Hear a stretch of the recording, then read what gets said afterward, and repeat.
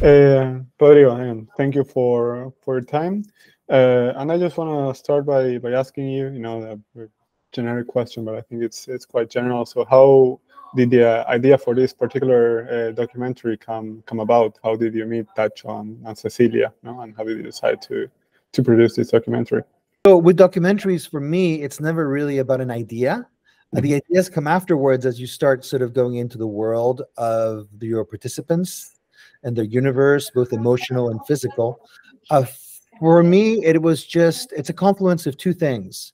One is that the South, uh, since the, uh, I would say the late 80s, early 90s, mid 90s, has been um, living under the this sort of giant demographic revolution called the Great Latino Migration, in which millions of Latin Americans uh, moved into the south of the United States, which previously had never seen large, massive populations of Spanish speaking migrants settling in. They came through as migrants, picking, you know, tobacco, sweet potatoes, uh, um, on their way to to Maine, to New York, to pick blueberries and apples, but never really settling down. There was little small pockets of maybe academics uh, here and there. Maybe when the Cubans were sent to Tennessee, the Los Marielitos number two, I think, but never never such a huge um, settling of Latin American speaking languages directly from Latin America, and half of them from Mexico.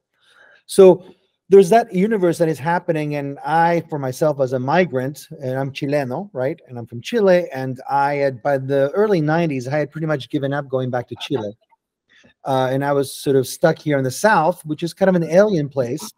Uh, it is both the South is very recognizable because it's a it, it is filled with um, colonial traditions, right? Very much like in America, but uh, mostly not in the language. Nobody speaks Spanish back then. It was very no bilingualism. The streets don't have our name. It feels a little bit like the moon. Um, and then suddenly Latin America started coming to my doorstep. Just when I thought I just, where was I? And so for me as a documentary filmmaker, as an archivist, as a chronicler, I started getting very much involved in this in this great sort of transformation of the South via Latin America coming into it and changing it because of the impact that it never happened before.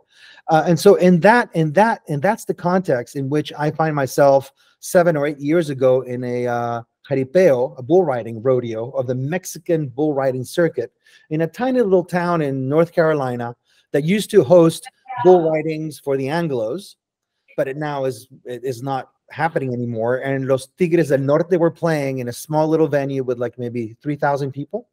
So that was like very exciting. And that was my first entry into the world of jaripeo, the, you know, the sort of the culture of the, of, of the, of, of in the music and in the, the sort of the, the whole mythology of that sort of attachment also to feasts of saints. In this one, it wasn't a feast, it was just a big party.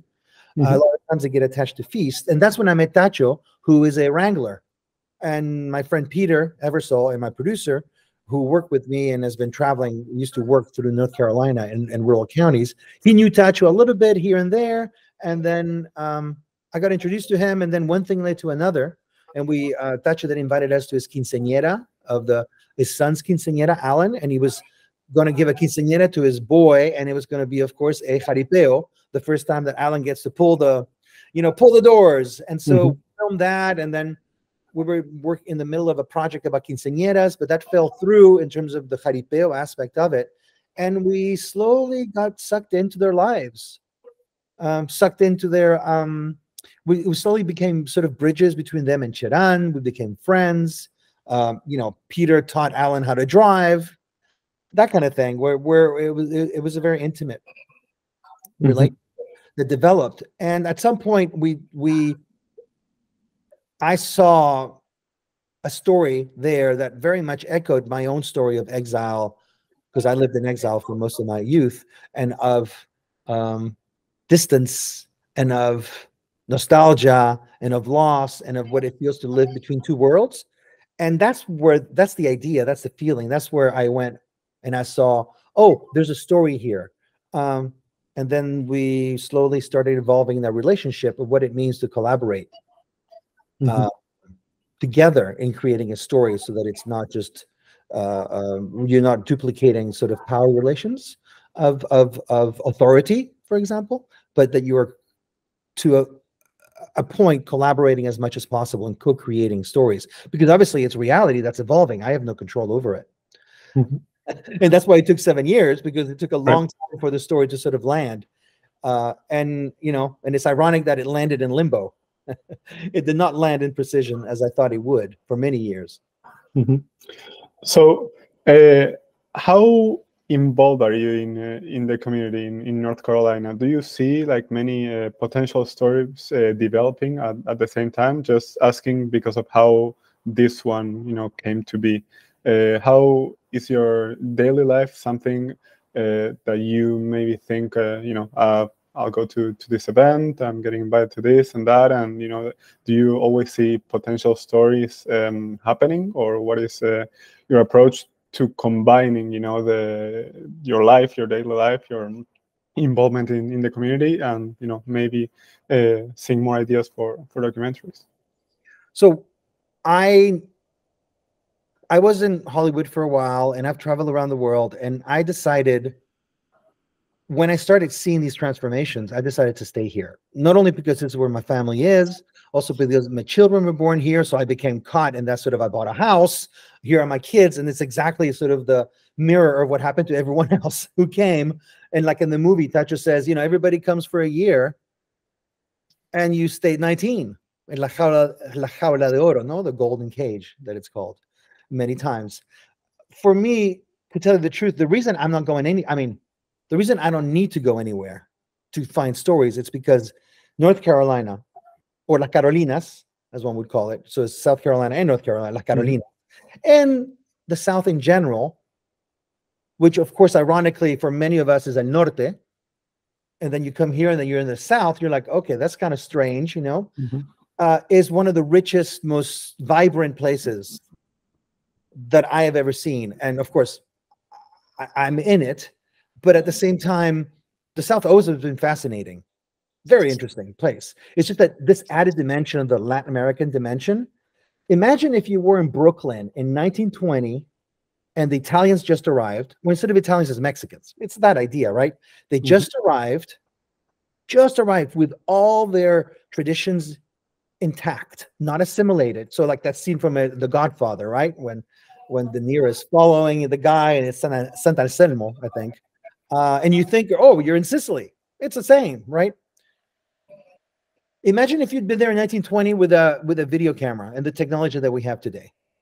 Mhm. You- eh, Back in time, would you want to go anywhere else? No, the, the, the richness of it is so incredible. And so, right now, for example, so I've been telling many stories for the 30 for the last 30 years, and I've been one of the main chroniclers of the great Latino migration to the South, just because of luck and chance and talent and possibility and commitment.